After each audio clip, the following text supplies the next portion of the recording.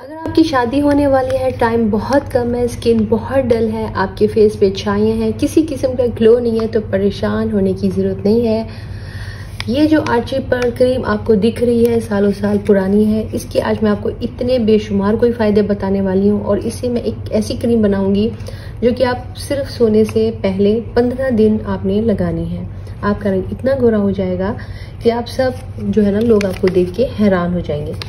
तो अगर आपके फेस पे पुरानी सी पुरानी छाइयाँ हैं, यानी हाइपर पिगमेंटेशन है जो आपके फेस का मसला है, आज हम इन सारे मसलों को जड़ से ही ख़त्म करने वाले हैं।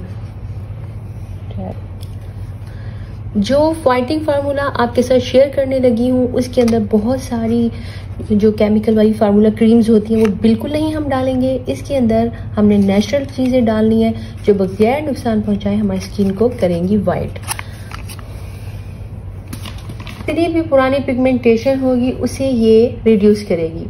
तो अस्सलाम वालेकुम व्यूअर्स कैसे हैं सब? उम्मीद करती हूँ सब ठीक होंगे। तो ये है जानी मानी करीम, आर्ची पर्ल क्रीम आपको इसका पता ही है। हम छोटे होते थे, हमारे घर में हमारे बड़े हमेशा यूज़ करते थे। सऊदिया में जब रहते थे ना, तब भी मैं देखती थी, मेरी अम्मी वगैरह जो है ना, ये लगाती थी। ये इतनी पुरानी है, मैं आपको कितना टाइम बता रही हूँ, तकरीबन तकरीबन तीस पैंतीस साल का अपना एक्सपीरियंस बता रही हूँ। तो बिल्कुल सही जो है ये मैं आपको बता रही हूँ। तो आपने इसको वीडियो को स्किप नहीं करना, सारे स्टेप बहुत ही अहम है, आपने वीडियो एंड तक वॉच करनी है। तो इसको सबसे पहले हम कट कर लेते हैं। इस क्रीम का सबको आई थिंक पता है। तो अब जो है इसमें हम देख सकते हैं, ये ब्राउन कलर की इसकी जो है ना बॉक्स है।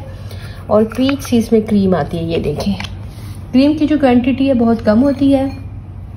क्योंकि करीम की क्वांटिटी बहुत ही कम होती है, लेकिन हमें इतनी ही चाहिए। क्योंकि आपको पता ही है, जब ये, जब क्रीम्स हम ज़्यादा यूज़ करते हैं तो उल्टा नुकसान होता है। जस्ट पंद्रह दिनों का मैं आपको फार्मूला बता रही हूँ, आपका पंद्रह दिनों में रंग गोरा हो जाएगा। ये काफ़ी थिक होती है इसका टेक्सचर इसी क्रीम में हम ये दोबारा डिबिया में वापस डालेंगे।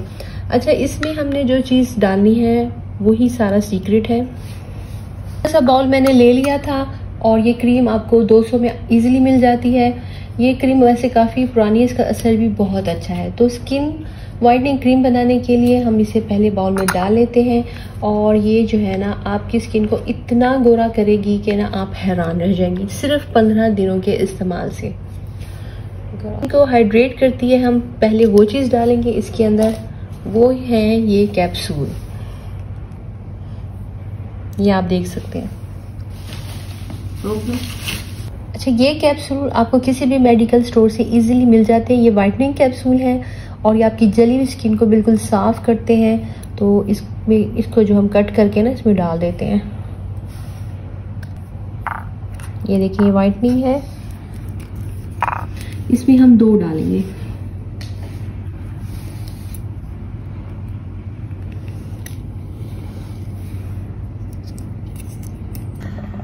अच्छा जो नेचुरल फार्मूला इसमें जा रहा है, ये है एक ड्रॉप नारियल का तेल। नारियल के तेल से हमारे चेहरे पे जो भी डार्क स्पॉट होते हैं टोटली ख़त्म हो जाते हैं। अब हम इसको करेंगे अच्छा सा मिक्स मिक्स होने में पाँच मिनट लगेंगे, लेकिन हमने करना है।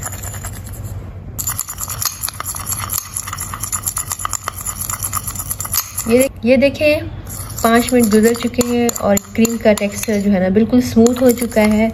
अब हम इसमें अगली चीज़ डालेंगे जो कि बहुत अहम है।